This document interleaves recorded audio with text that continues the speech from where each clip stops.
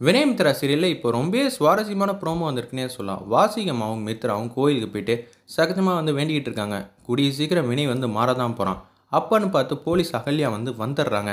நீ இன்னமும் உன் மருமலை வந்து நம்பிட்டு தான் இருக்கியா? நான் அவ்வளோ ஆதாரம் காட்டியும் நீ என்னை நம்ப மாட்டேங்கிறானா? வாசுகி நீ இன்னமும் முட்டாளாவே ஆகிட்டு இருக்க. ஏன் மருமலை பற்றி எனக்கு தெரியும். யார் என்ன சொன்னாலும் நான் நம்ப மாட்டேன்.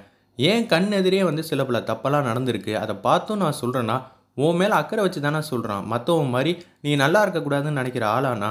அகல்யா நீ வந்து ஆதாரத்தை மட்டும் நம்பிக்கிட்டு நீ பேசுகிற அதை மட்டும் நம்பணும்னு வச்சுக்கியே எதுவும் பண்ண முடியாது. இப்போ கண்ணு தெரிலன்னு வச்சுக்கியேன் சூரிய ஒளி வந்து தெரியும்ல அது மாதிரி தான் மித்திரமும் ரொம்பவே நல்ல பொண்ணு. அதை நான் உணர்றேன். நீ உணர்றதுக்கு கொஞ்சம் காலதமாக தான் ஆகும். அவ்வளோதான் வித்தியாசம்.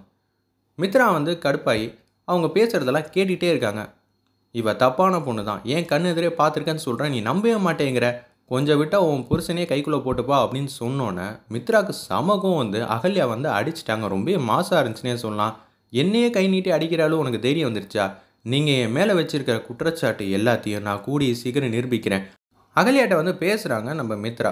நீங்கள் ஆதாரம் ஆதாரம் பார்த்துக்கிட்டு இருக்கீங்க. உங்களுக்கு நான் எதுவும் தப்பு சொல்ல முடியாது. ஆனால் சில பல வேர்டு வந்து யூஸ் பண்ணக்கூடாது. என்கிட்ட அது யாராக இருந்தாலும் நான் இப்படி தான் நடந்துப்பேன். அதுக்குன்னு இது மாதிரிலாம் நடந்துப்பியாங்கிற மாதிரி ரொம்ப கோவப்பட்டு பேசுகிறாங்க கூடிய சீக்கிரம் இந்த எல்லாத்தையும் நான் சவாலாகவே ஏற்றுக்கிறேன் நம்ம ரெண்டு பேரும் மோதி பார்க்கலாம். போட்டியில் நான் தான் ஜெயிக்க போகிறேன் இது எல்லாம் உங்கள் மனசை உறுத்தி நீங்களே என் வீட்டுக்கு வந்து மன்னிப்பு கேட்க போகிறீங்க அது கூடிய சீக்கிரம் வரும். எல்லாரும் சூழ்ச்சி வச்சு என்னை வந்து பொறி வைக்கணும்னு நினைக்கிறாங்க. ஆனால் நான் பொறியில் உழுவுறதுக்கு நான் எலி கிடையாதுங்கிற மாதிரி மாதம் அந்த இடத்துல பேசுனாங்க.